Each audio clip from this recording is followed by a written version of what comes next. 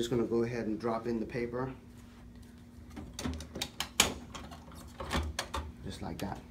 Okay, and, and the roller is gonna go forward. The next step is you follow the arrow, it says paper insert. So I'm just gonna insert it in there and it's gonna go forward, not down. Once it goes forward through the first um, uh, uh, piece right here, it's gonna go down. And as you can see this arrow here, it's gonna go down. Then you're gonna listen for the beep. If you're at an event, it's gonna be really loud, so you, you gotta get really close and you're gonna hear the two beeps, okay? If you don't hear it, take it out again and keep trying until you hear the beep. Next thing we're gonna load is the ribbon. Okay, you have your ribbon here. This is a, a used roll that we're using for this uh, demo. So what you wanna always do is match up the yellow to the yellow. Okay, so you're gonna put the top piece in, pop that down, bottom piece, pop that in there. And the, these arrows are right here.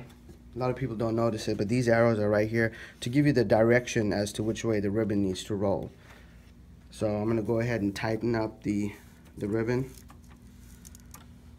Okay, and the ink and paper doesn't have to sync. So um, if you ever had a gig and the ink rips, you know, if it rips on here, I'll get to that in just a second, um, and you need to um, fix it, the ink and paper doesn't have to sync up.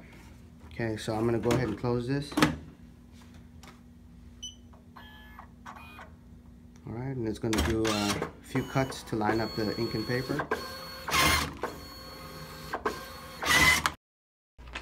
This just goes in right here.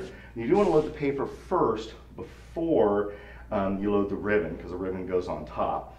And then what you simply do is once that's in there, just feed it down, okay? And you listen for the to do is load the ribbon, okay? And again, the yellow side with the RFID chip just snaps right up here in this, into the yellow spot, so it can't miss it, just fits right in there. And then the other half just fits right down here in the bottom. Then you do want to take out a little bit of the, uh, the tension there, make sure it's tight in there. And then we're just going to close this.